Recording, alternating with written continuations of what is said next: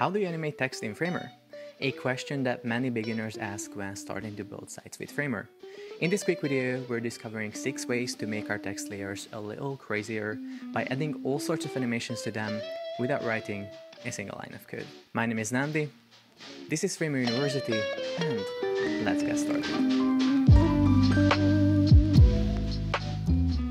So first of all, I just want to let you know that you're going to find a remix link for this project in the description, so you can just remix it and take a look into the file yourself if you didn't understand something or you just want to take a peek inside of the project that I'm going to be showing you right here in this video. So the first way of animating text is going to be, you know, the native way, from the built-in text effects in Framer. So let's take a brief look at them. The way you can use them is basically just selecting any layer on your canvas. So for example, here we have this title, animate text in Framer.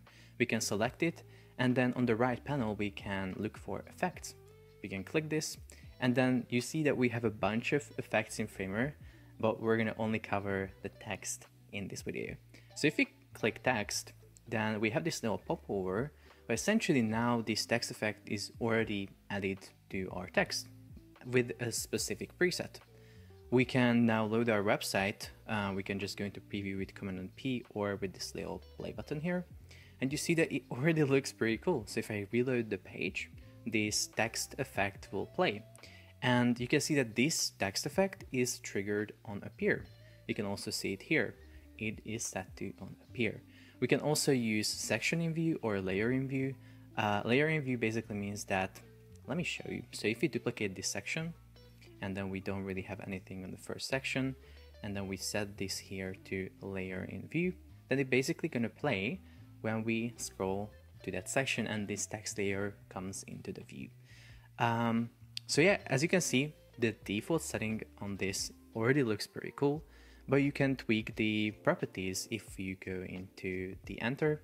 So you can, you know, set different properties for opacity, scale, blur, rotation, skew, whatever. Also the transition here. And you can also animate per character, per word, line, or element. So yeah, you can play around with a bunch of properties here. But one a little limitation of native text effects in Framer is that you, you can see that you cannot really play them on scroll. So they are, again, either played on appear, so when we land on the website, or when a specific section or layer, this specific layer, comes into the view. But even if that's the case, so if we set layer in view, then, you know, it comes into the view, but it, it just plays the whole thing. The animation is not really controlled with my scroll. So again, as you can see, I scroll here and it, it, it's already there. It's already animated in.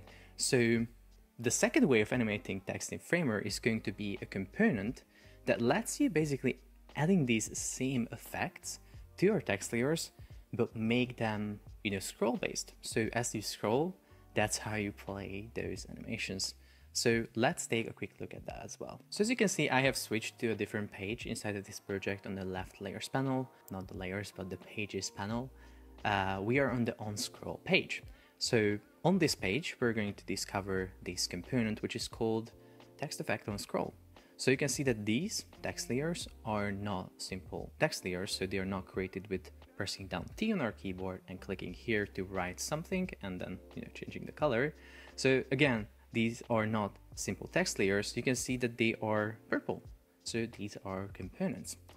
And these components have, you know, properties on the right panel that we can customize, such as the text, what is written here, and of course the effect, the animation, and we do all sorts of different things. Mostly, you know, the same things that we had on the native text effects. But now this will play as we scroll on the page. So let's take a look at this. As you can see now, it doesn't complete the animation as the text layer enters the viewport. If I stop my scroll, the animation stops. And you know, in some cases, this is what you need. So you can see this nice animating and then this text here as well have this nice effect. And yeah, I think it looks uh, pretty cool. You might be wondering where can you get this component from. So if you go to Framer University and click this little resources page, you're going to find a bunch of different components and resources. But if you search for text scroll animator here, you're going to find a component and you're going to be able to copy this to your clipboard and then paste it into Framer. All the other components that I'm going to be showcasing in this video will be found on the Framer University website, but I'll also leave a link for them down in the description. And again, you have a bunch of properties here.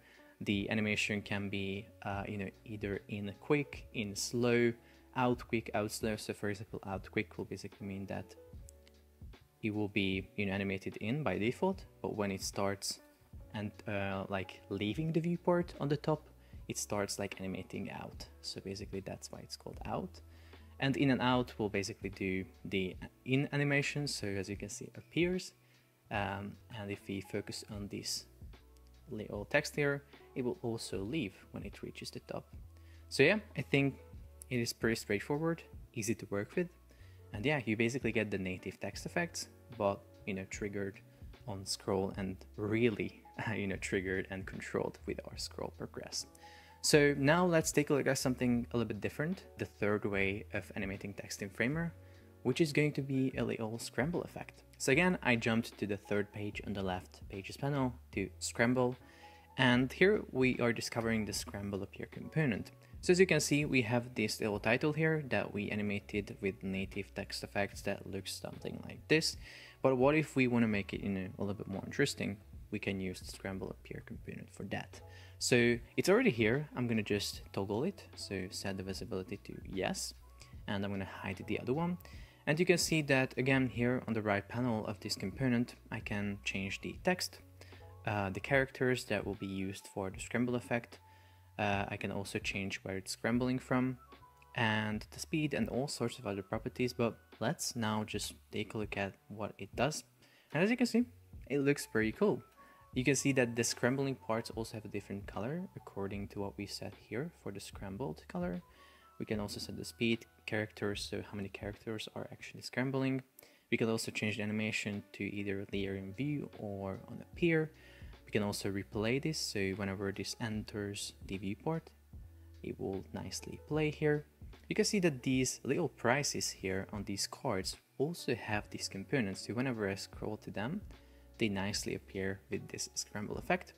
And yeah, again, you can fully customize it on the right properties panel. As you can see, it looks very cool. But again, with this, the problem is that it kind of plays again on appear or when this you know layer comes into the view when for example it comes to these pricing cards so what if i want to have some sort of you know scramble effect but as i scroll down the next way of animating text will be about another component that does just that. So again, I moved to the fourth page on the project, scramble, scroll, and if I scroll down here, you see that we have a scroll decrypt component and on the right panel I have set a long long paragraph inside which is completely invisible for me because it will start off as a decrypted text or sorry an encrypted text and we're going to decrypt that text. Um, again, a bunch of properties. I'm not going to go deep within these because they are pretty simple. If I play this, you can see as I start scrolling down and this paragraph starts appearing, first we see this scrambled like uh, encrypted text. And then as I start scrolling down it starts like decrypting. And yeah it, it also looks pretty interesting. One extra thing that I forgot to mention for these scramble effects is that you might want to use them with mono fonts because mono fonts basically don't change the width of the characters. And this makes sure that when we are changing characters for specific letters, it's like not breaking into new lines because you know certain lines would get wider if we were to use like inter. We can also take a look at that just to show you.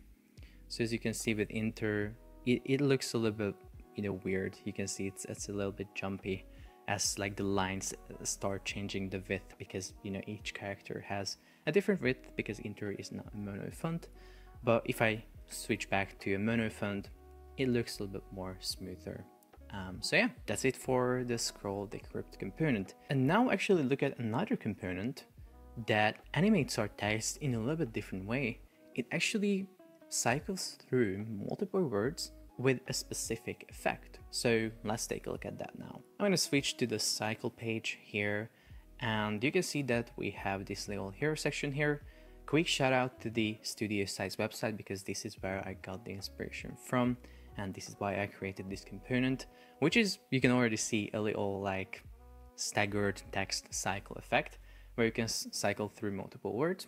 So the way it works is that you have this staggered cycle component on your page. And then again, on the right properties panel, you could just change the text, the different words that you are cycling through. You just have to divide the words with commas and yeah, basically that's it. You can change the speed, delay, stagger, the font, and basically everything that you might want to change.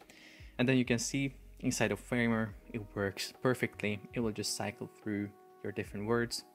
And yeah, again, it will just add a little, you know, nice touch um, to your Framer websites. And the best part is that you don't really have to, you know, write any code to achieve this. Now we have animated our characters, we have done like scroll animations, but what if you want to animate the color of your text in a little bit more interesting way?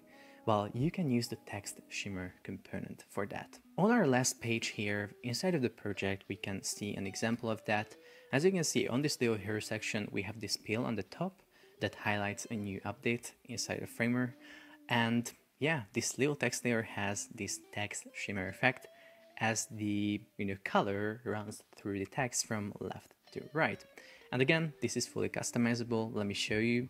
I'll go within this component here, which is first of all just a no code component. And then within that, we have the code component that actually does the effect, which is the text shimmer component. And on that, we can just look on the right panel and see all the properties. We have the content, which is basically what is written here. We can change the font, of course the color, like default color of the text and the shimmer color. So if I wanted to have a, I don't know, yellow shimmer, let's say, let's take a look at that. We can also have that and it looks not bad. Uh, and then we can also change the direction. So it's either going to the left or to the right and user select, rotation, delay. These are not that interesting. Uh, but yeah, you just have this cool little effect. Again, makes your designs a little bit more interesting. So yeah, that's it for this video. I really do hope that it was helpful. And now you're going to be able to animate your text layers on your Framer websites and make them a little bit more crazier. So yeah, let me know if you have any comments um, or questions in the comments. And yeah, also check out Framer University. You're going to also find all the components that I showcased in this video. And yeah, like this video, subscribe for more, and I'm going to see you in the next one.